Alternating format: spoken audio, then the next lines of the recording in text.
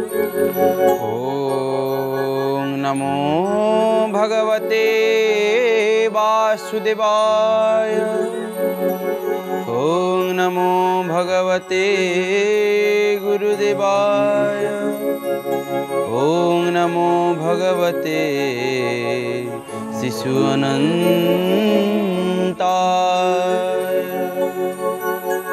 गुरुब्रह्मा गुरुविष्णु गुरुदेव महेश्वर गुरु साक्षात् परं ब्रह्म तस्मै श्रीगुरवे नमः।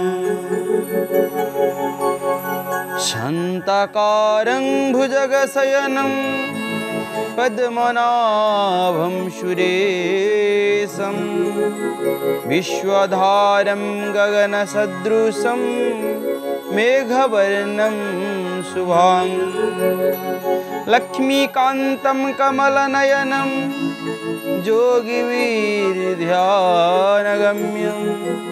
वन्दे विष्णुं भवभयहरं सर्वलोकैकनाथं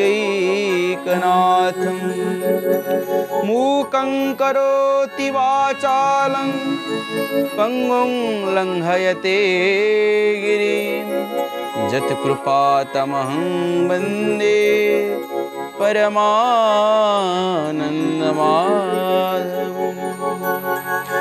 जय शिशु राजा राम। জয় সত্য সনাতন কল কিরাম। জয় শিশু অনন্ত রাজা রাম। জয় সত্য সনাতন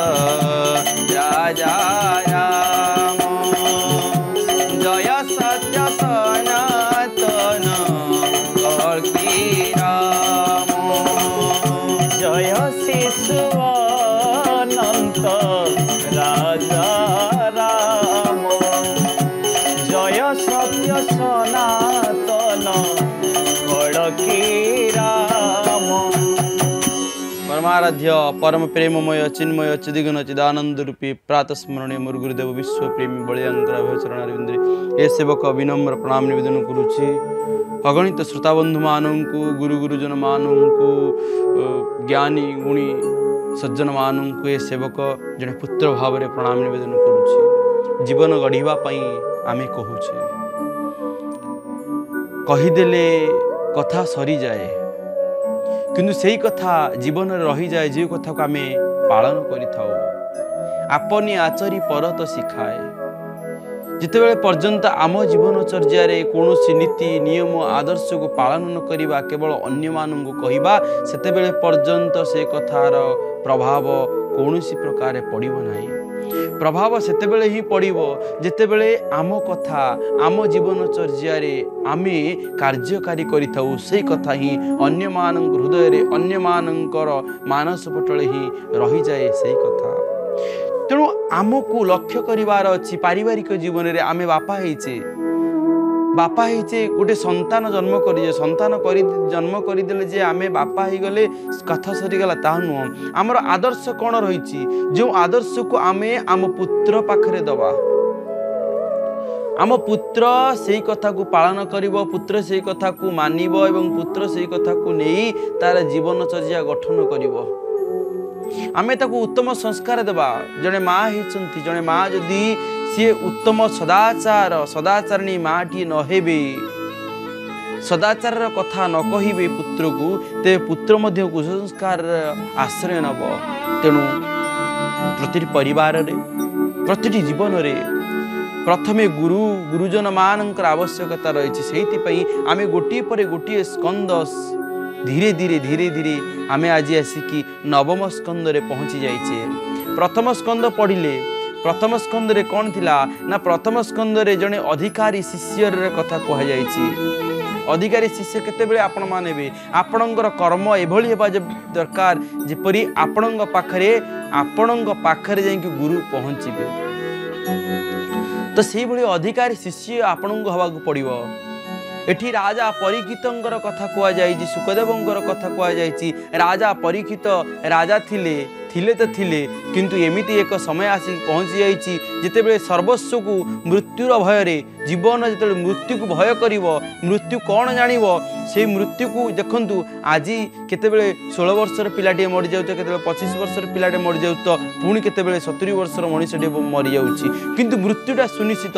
ଆମର ଜୀବନଚର୍ଯ୍ୟା ଏ କଥାକୁ ଆମର ଗୁରୁଜନମାନେ ମୋର ସଜ୍ଜନମାନେ ମୋର ଯୁବପିଢ଼ିମାନେ ବିନମ୍ରତାର ସହ ଆପଣ ଶ୍ରବଣ କରିବେ। କଥାକୁ ଆମର କାହିଁକି ଆମେ ଶ୍ରବଣ କରିବା? କଥାକୁ ଶ୍ରବଣ କରିବାର ମୂଳ ଲକ୍ଷ୍ୟ ହେଉଛି ଆମ ଜୀବନକୁ ଆତ୍ମସମୀକ୍ଷା କରି ଆମ ଜୀବନ ଏ ସଂସାରକୁ ଯେଉଁଥିପାଇଁ ଆସିଛେ ସେ କର୍ମକୁ କିଭଳି ଭଲ ଭାବରେ ସମ୍ପାଦନ କରିବା। କାହିଁକି? ନା ଭାଗବତ ଗୋଟିଏ ସୁନ୍ଦର ଭାବରେ ଗୋଟିଏ କଥା କହୁଛନ୍ତି ଅନନ୍ତ ଯାହାର ମହିମା କେ ଜାଣିପାରେ ଗୁଣ ସୀମା? ଗୋବିନ୍ଦ ଗୋବିନ୍ଦ ଗୋବିନ୍ଦ ପଦୁ ଗଳୁଛି ମକରନ୍ଦ। तुम्हे कहिल मुनि गणे विष्णुर महिमा प्रमाणे। गोविंद गोविंद गोविंद पदु गडुछे मकरन्द ହେଉଛି ବିଷ୍ଣୁର ମହିମା ବିଷ୍ଣୁର କଥା। ତେଣୁକରି ଏହି ଗୁରୁ ଗୁରୁ ହିଁ ଆଜି ବିଷ୍ଣୁଙ୍କର କଥା ରାଜା ପରୀକ୍ଷିତଙ୍କ ପାଖରେ କହୁଛନ୍ତି। ଜଣେ ନିଃସ୍ୱ ନିଃସ୍ୱ ନହେଲେ ସେ ବିଶ୍ୱପତିଙ୍କୁ ପାଇପାରିବନି। ନିଜ ପାଖରେ ଧନ ସମ୍ପତ୍ତି ସବୁକିଛି ଥିଲେ ମଧ୍ୟ ସବୁକିଛି ଆଜି ପରିତ୍ୟାଗ କରିଦିଆ ଆସି ଆଜି ଆନନ୍ଦରେ ବସି ଯାଇଛନ୍ତି ଧ୍ୟାନସ୍ଥ ଭାବରେ ଏବଂ ସେଇ ଗୁରୁଙ୍କର କଥାକୁ ଶ୍ରବଣ କରୁଛନ୍ତି। ଗୁରୁଙ୍କର ଜୀବନଚର୍ଯ୍ୟାକୁ ଆଜି ନିଜ ଜୀବନରେ ଲଗାଉଛନ୍ତି ଏବଂ ଦ୍ୱିତୀୟ ସ୍କନ୍ଦରେ ଦ୍ୱିତୀୟ ସ୍କନ୍ଦରେ ଆମେ ସେତେବେଳେ ମଧ୍ୟ ଆଲୋଚନା କରୁଥିଲେ ଯେମିତି ଆସନ୍ନ ମୃତ ଆସନ୍ନ ମୃତ ବ୍ୟକ୍ତିର କର୍ତ୍ତବ୍ୟ କ'ଣ ଏହି ଜ୍ଞାନ କଥା ଆମେ ଏହି ପ୍ରସଙ୍ଗରେ ଆମେ ଶ୍ରବଣ କରୁଥିଲେ ଦ୍ୱିତୀୟ ସ୍କନ୍ଦରେ ଜଣେ ମୃତ୍ୟୁ ପାଇଁ ଭୟଭୀତ ହେଉଛି। ତାର କର୍ତ୍ତବ୍ୟ କ'ଣ? ସେଇ କଥା ଦ୍ୱିତୀୟ ସ୍କନ୍ଦରେ ଆମେ ପଢ଼ିଲେ ଗୁରୁ କହୁଛନ୍ତି ଶିଷ୍ୟଙ୍କୁ ଯେ ବାସ୍ତବରେ ଜୀବନରେ କର୍ତ୍ତବ୍ୟ କ'ଣ ହେବା ଦରକାର? ଦ୍ୱିତୀୟର କର୍ତ୍ତବ୍ୟ। ପ୍ରଥମ ସ୍କନ୍ଦରେ ଗୁରୁ ମିଳିଲେ ଦ୍ୱିତୀୟ ସ୍କନ୍ଦରେ କର୍ତ୍ତବ୍ୟର କଥା କହିଲେ ଏବଂ ସେଇ କର୍ତ୍ତବ୍ୟର ସ୍କନ୍ଦ ମାନେ କର୍ତ୍ତବ୍ୟର କଥା କହିବା ବେଳେ ଏବଂ ଜ୍ଞାନ ନୀଳାର କଥା ମଧ୍ୟ ଆଲୋଚନା କରାଯାଇଛି। ଖାଲିରେ ସେତିକିରେ ସରିଯାଇନି ତାପରେ ଆସୁଛନ୍ତି କ'ଣ ତୃତୀୟ ଏବଂ ଚତୁର୍ଥ ସ୍କନ୍ଦର କଥା ଅଛି। ସର୍ଗ ବିସର୍ଗ ଲୀଳାର ବର୍ଣ୍ଣନା କରାଯାଇଛି। ମାନେ ଜ୍ଞାନକୁ କ୍ରିୟାତ୍ମକ ରୂପ ଦେବାରେ ଆମ ଜୀବନରେ ଜ୍ଞାନ ଖାଲି ଜ୍ଞାନର ଅର୍ଜନ କରିଦେଲେ ହେବନି। ଜ୍ଞାନଟାକୁ ଆମେ କେମିତି ପରୋପକାର ଲଗାଇ ପାରିବା? କ'ଣ କଲେ ପରୋପକାର ଲାଗି ପାରିବ? ସେଇ କଥା ସେ କହିଛନ୍ତି। ଏବଂ ତୃତୀୟ ଚତୁର୍ଥ ସ୍କନ୍ଦ ଗଲେ ଏବଂ ପଞ୍ଚମ ସ୍କନ୍ଦ ଆଇଲେ ପଞ୍ଚମ ସ୍କନ୍ଦରେ କ'ଣ? ସ୍ଥିତି ଲୀଳାର ବର୍ଣ୍ଣନା କରାଯାଇଛି। ସ୍ଥିତି ଲୀଳାର ବର୍ଣ୍ଣନା କରାଯାଇଛି। ଗୁରୁଠାରୁ ଯେଉଁ ମାନେ ଜ୍ଞାନକୁ ପ୍ରାପ୍ତ ହେଇଛେ ସେ ଜ୍ଞାନ ଯେଭଳି ଆମ ଜୀବନରେ ସ୍ଥିତିକୁ ବଜାୟ ରଖିବ ସେଇ କଥା କୁହାଯାଇଛି। ଏବଂ ଷଷ୍- ଷଷ୍ଠ ସ୍କନ୍ଦରେ ପୃଷ୍ଟି ବା ଅନୁଗ୍ରହ ଲୀଳାର ବର୍ଣ୍ଣନା କରାଯାଇଛି। ଏସବୁ କଥାକୁ ଆମେ ପୂର୍ବରୁ ଆଲୋଚନା ସବୁ କରିଛେ ଏବଂ ମାନେ ସପ୍ତମ ସ୍କନ୍ଦରେ ଅସତ ଭାବନା କେମିତି ଦୂର ହେବ ସେ କଥା ମଧ୍ୟ ଆମେ ସନ୍ଥ ସେବା କରିବା ଆମେ ସତସଙ୍ଗ କରିବା ଆମେ ଆଚାର ବିଚାରକୁ ଠିକ୍ ଭାବରେ ପାଳନ କରିବା ଇଷ୍ଟ ଧର୍ମ ପାଳନ କରିବା ଯାହାଫଳରେ କି ଆମର ସଦ୍ଭାବନା ଆମ ଭିତରେ ସୃଷ୍ଟି ହେବ ଏବଂ ଅସତ ଭାବନା ଯାହା ରହିଛି ତାହା ମଧ୍ୟ ଦୂର ହେବ। ଏବଂ ଆଉ ଗୋଟେ କଥା ମଧ୍ୟ ଜାଣିଥିଲେ ସେ ସଦ୍ଭାବନା ସୃଷ୍ଟି ହେବା ଦ୍ୱାରା ମଧ୍ୟ ଏଠି ପ୍ରହ୍ଲାଦ ଗୋଟେ ରାକ୍ଷାସ ପରିବାରରେ ମଧ୍ୟ ପ୍ରହ୍ଲାଦ ଜନ୍ମ ହୋଇପାରିଥିଲେ। ତେଣୁ ଖାଲି ସେତିକିରେ ନୁହଁ ତାପରେ ଆମେ ସପ୍ତମ ସ୍କନ୍ଦକୁ ଆସିଥିଲେ ସପ୍ତମ ସ୍କନ୍ଦରେ ବାସନ ନାଶର ଚାରିଟି ଉପାୟ ବାସନା କେମିତି ନାଶ ହେବ ଆମ ଭିତରେ ଯେଉଁ ବାସନା ରହୁଛି ସେ ବାସନା କେମିତି ନାଶ ହେବ କିନ୍ତୁ ଆମର ଲୋଭ ରହିବ ଆମର କାମ ରହିବ ମୋହ ରହିବ ଅହଙ୍କାର ରହିବ ଏସବୁ କଥା ରହିବ କିନ୍ତୁ ଏକୁ ଆମେ କେମିତି ଆମ ଜୀବନ ଶୈଳୀରେ ଠିକ୍ ଭାବରେ ପରିପାଳନ କରିପାରିବା ସେ କଥା ମଧ୍ୟ କୁହାଯାଇଛି କିନ୍ତୁ ପ୍ରିୟ ସଜ୍ଜନ ଯେତେବେଳେ ଆମେ ଅଷ୍ଟମ ସ୍କନ୍ଧରେ ଆସିକି ପହଞ୍ଚିଲେ ସେଇ ଅଷ୍ଟମ ସ୍କନ୍ଦରେ ସନ୍ଥର ଚାରୋଟି ଧର୍ମ ସମ୍ପର୍କରେ କୁହାଗଲା ଏଇ ସନ୍ଥ ଭିତରେ ସନ୍ଥ ଭିତରେ କେଉଁ ଚାରୋଟି ଧର୍ମ ରହିବା ଦରକାର। ଆପଣ ଜଣେ ସାଂସାରିକ ହେଇଛନ୍ତି ଆପଣ ମନେ ମନେ ଭାବୁଛନ୍ତି ମୁଁ ବି ଅନେକ ଜାଗାରେ ଶ୍ରବଣ କରିଛି ଅନେକ ଜାଗାରେ ମଧ୍ୟ ମୋତେ ମଧ୍ୟ ଅନେକ କୋଶ୍ଚିନ୍ କରନ୍ତି। ଆମେ ସଂସାର ରହିଛୁ आम आईस छाड़बू केमी आम संसार रहीचु, आम प्रभु को टाइम दबू केमी आम संसार रहीचु। देखु जदि गोटे बर्षिकिया हो आम ठाकुर पाखक जीवनी आम जदि देखो गोटे छोटिया कथाटा कहूँ जदि आप प्रभु को पितेव पुत्र से आपत तो पढ़ी जदि पढ़ी आप कौन पढ़ुं पितेव पुत्र से सखेव सख्यु कौन पढ़ले ना पितेव पुत्र सख्यवशु पुत्र धरले ଗୋଟିଏ ମାଆଟିଏ ହଉ କିମ୍ବା ଗୋଟେ ପୁରୁଷ ଲୋକଟିଏ ହଉ ସିଏ କ'ଣ କହୁଛନ୍ତି ନା ବର୍ଷିକିଆ ପଡ଼ିଛି ଆମେ କ'ଣ ଠାକୁରଙ୍କ ଦି ଯିବୁ ବର୍ଷେ ପଡ଼ିଛୁ? ନା ଆମେ ଯିବୁ ନାହିଁ। କିନ୍ତୁ ଏଠି ସେବକ ଗୋଟିଏ କଥା କହିବ ଯଦି ଆପଣଙ୍କର ବର୍ଷିକିଆ ପଡ଼ିଛି ଆପଣଙ୍କ ସନ୍ତାନ କ'ଣ ଆପଣ କ୍ଷୀରପାନ କରଉନାହାନ୍ତି? ତାର ଖାଇବା କଥା କ'ଣ ବୁଝୁନାହାନ୍ତି? ଯଦି ଆପଣ ତାଙ୍କର ବୁଝୁଛନ୍ତି ତାହେଲେ ଆପଣ କେମିତି ଭଗବାନଙ୍କର କଥା ତାହେଲେ ବର୍ଷେ ପାଇଁ ଭୁଲିଯିବେ? ନା ଆପଣ ତାକୁ ନିଜର ପରିବାର ଜଣେ ସଦସ୍ୟ ଭାବି ନେଇଯାଆନ୍ତୁ ଏବଂ ଆପଣାତ୍ୱର ଭାବନା ନେଇ ନିଜର କରିଦିଅନ୍ତୁ। ନିଜର କଲେ ହିଁ ତୁମେ ଆନନ୍ଦ ପାଇବ। ଖାଲି ସେତିକି ନୁହଁ। ଆହୁରି କଥା ଅଛି ମୁଁ ଆଗାମୀ ଆଡ଼କୁ ମୁଁ ନିଶ୍ଚିତ ଭାବରେ କହିବି ଆପଣମାନଙ୍କୁ ଗୋପାଳ ଅଛି। ଗୋପାଳ ଆପଣମାନଙ୍କୁ ସେଇ କଥା କହିବ ଯେଉଁ କଥା ଦ୍ୱାରା ଆଗାମୀ ଯୁବପିଢ଼ିମାନେ ନିଜର ଭବିଷ୍ୟତ ଗଢ଼ିବା ସହିତ ମୋର ଗୁରୁ ଗୁରୁଜନମାନଙ୍କୁ ପିତାମାତାମାନଙ୍କୁ ଏମିତି ଶ୍ରଦ୍ଧା ଭକ୍ତି କରିବେ। ଅନେକ ଯୁବପିଢ଼ିମାନଙ୍କର ଶୁଭେଚ୍ଛା ଆସିଛି। ଯେଉଁ ଯୁବପିଢ଼ିମାନେ କହୁଛନ୍ତି ଏ ଯେ ଗୋପାଳ ଭାଇ ଏହି କାର୍ଯ୍ୟକ୍ରମ ଆଗକୁ ଆଗକୁ ଚାଲିବା ଦରକାର। ଏବଂ ଅନେକ ଗୁରୁଜନମାନେ ମଧ୍ୟ କହୁଛନ୍ତି ଯେ ଆଗାମୀ ଭବିଷ୍ୟତ ଉତ୍ତରଦାୟୀମାନଙ୍କ ପାଇଁ ଏବଂ ଯାହାଙ୍କୁ ଆଶ୍ରୟ କରି ଯାହାଙ୍କ ଭରସାରେ ପିତାଟିଏ ନିଜ ପରିବାରକୁ ଛାଡ଼ିଦିଏ କାହା ଉପରେ ନା ପୁତ୍ର ତାର କନ୍ୟା ଉପରେ। ଆଉ ଏବଂ ସେଇଭଳି ଗୋଟେ ବଡ଼ ପରିବାର ହେଉଛି ଆମର ପୃଥିବୀ ଆମର ଦେଶ। ଆମ ଦେଶ କାହା ଉପରେ ଆଶ୍ରୟ କରିବ? ଆମ ଦେଶ କାହା ଉପରେ ନିର୍ଭର କରିବ? ଯୁବପିଢ଼ିମାନଙ୍କ ଉପରେ। ମୋର ଗୁରୁଜନମାନେ ବିନମ୍ରତାର ସହିତ ଆପଣମାନେ ଥରୁଟିଏ ଚିନ୍ତନ କରିବେ। ବାସ୍ତବରେ ଏକଥା କ'ଣ ମିଥ୍ୟା କଥା? ମିଥ୍ୟା କଥା ନୁହଁ। ଗୁରୁଜନମାନେ ଶ୍ରବଣ କରୁଛନ୍ତି କ'ଣ ପାଇଁ? ନା ଆମେ ପୁଣ୍ୟ ଅର୍ଜନ କରିବୁ ଧର୍ମ ଅର୍ଜନ କରିବୁ କିନ୍ତୁ ମୋ ଯୁବପିଢ଼ିମାନେ ଯେତେବେଳେ ଶୁଣିବେ ମୋ ଯୁବପିଢ଼ିମାନଙ୍କ ପାଖରେ ଯେତେବେଳେ ଆପଣମାନେ ଯେତେବେଳେ ପହଞ୍ଚାଇବେ ସେତେବେଳେ ସେ କ'ଣ କରିବେ? ନା ସେତେବେଳେ ସେ ନିଜର ସ୍ୱଧର୍ମକୁ ପାଳନ କରିବା ସହିତ ସେମାନେ ଆଗକୁ ଆଗକୁ ବହୁତ ଆଗକୁ ଯିବେ ଏବଂ ଧର୍ମ ଆପେ ଆପେ ଅର୍ଜନ ହେବ। ଏଠି ଯେତେବେଳେ ଆମେ ନବମ ସ୍କନ୍ଦର କଥା ଆସିଯାଇଛି। ଏଇ ନବମ ସ୍କନ୍ଦରେ ଆମେ ଦେଖୁଛେ ଭଗବାନଙ୍କର ଲୀଳା। ଭଗବାନ କେତେବେଳେ କେଉଁ ରୂପକୁ ଧାରଣ କରୁଛନ୍ତି? କ'ଣ କହିଲେ? ଭାଗବତ କହୁଛନ୍ତି ତୁମ୍ଭେ କହିଲ ମୁନି ଗଣେ ବିଷ୍ଣୁର મહિમા પ્રમાણે ગોવિંદ ગોવિંદ ગોવિંદ પદુગળુચી મકર દ્રવિડ સ્વર સત્યવ્રત શિરાજ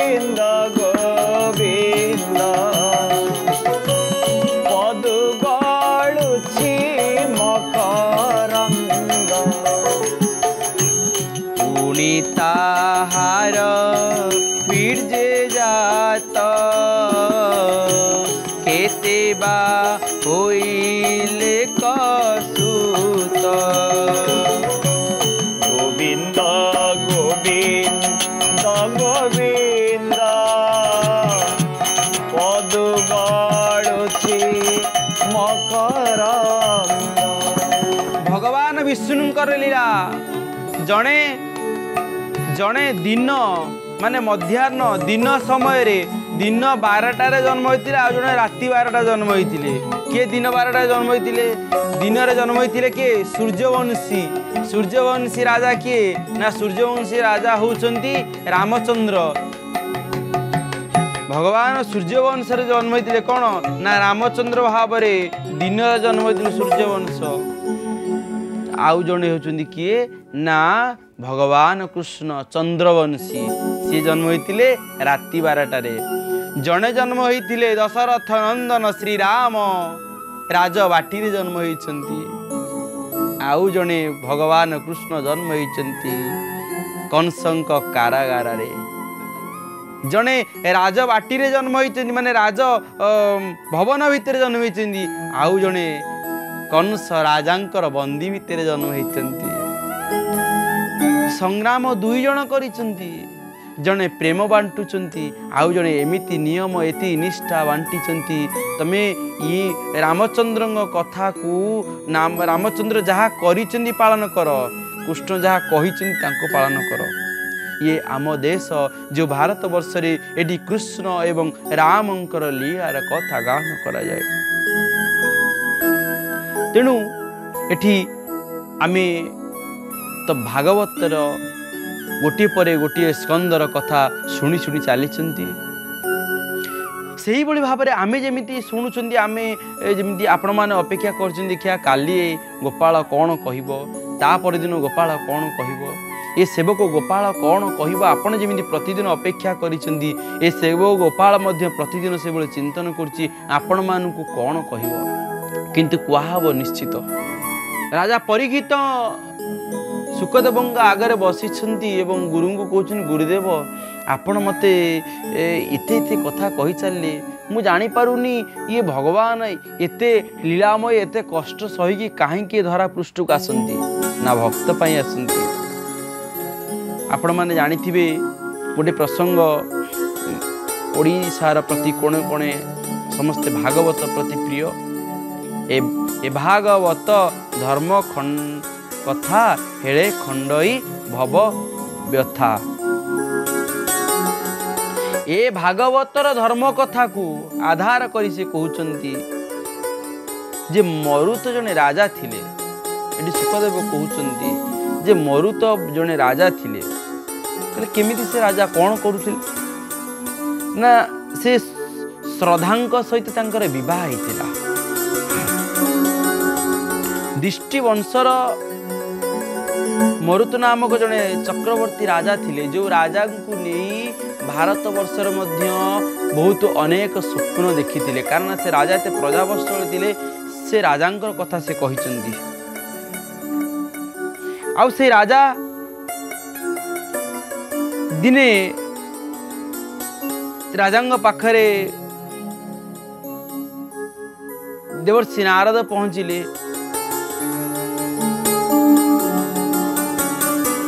ଏବଂ ଦେବର୍ଷି ନାରଦ କହିଲେ ଯେ ତୁମେ ଗୋଟିଏ ଏକ ଯଜ୍ଞ କର। କହିଲେ ହଁ ହଁ ମୁଁ ଯଜ୍ଞ ଟିକେ କରିବି।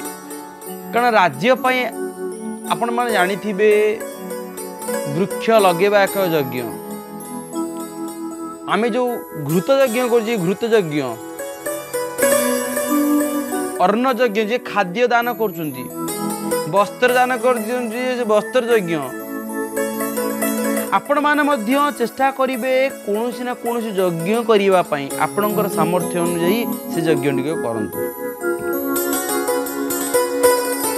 ଆଉ ଦ୍ୱିତୀୟରେ କଥା ହେଉଛି କ'ଣ?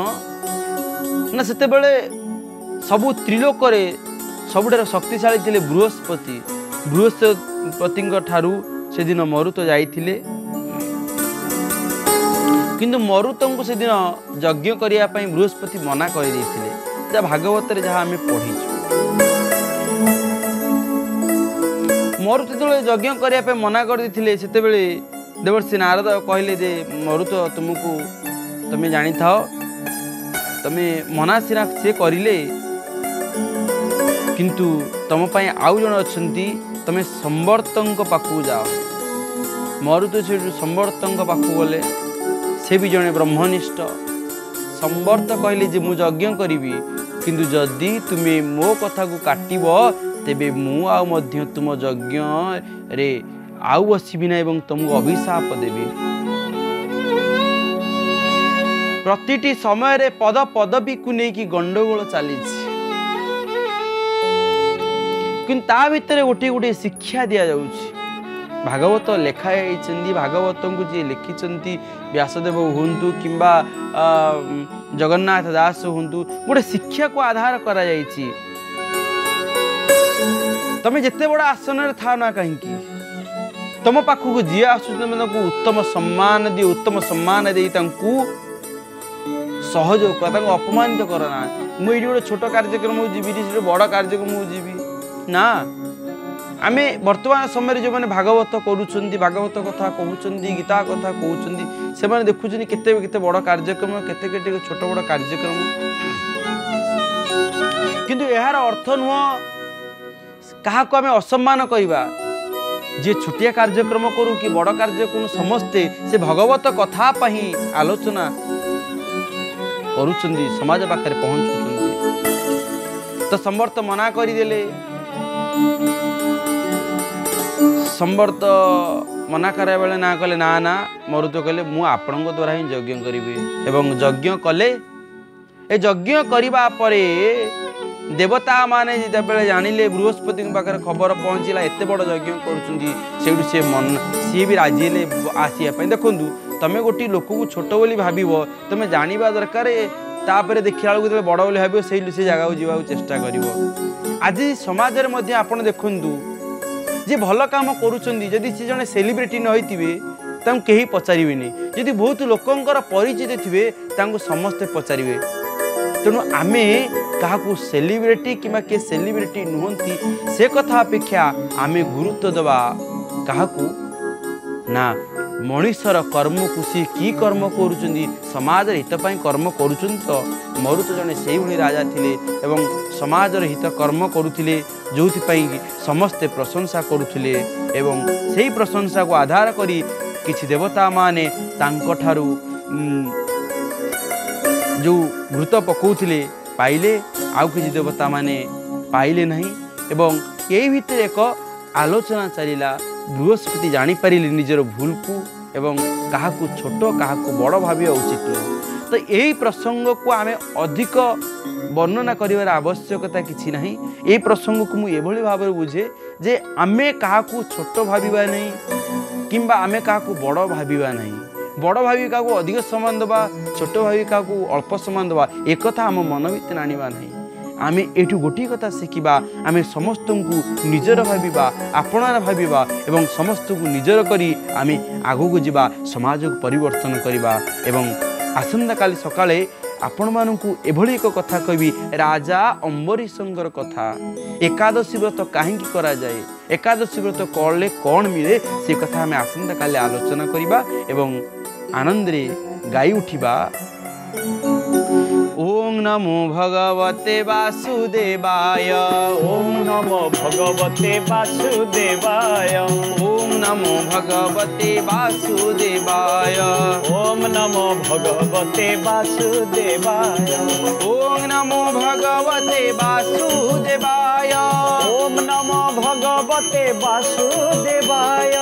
ॐ नमो भगवते वासुदेवाय। ओम नमो भगवते वासुदेवाय। ओम नमो भगवते वासुदेवाय। ओम नमो भगवते वासुदेवाय।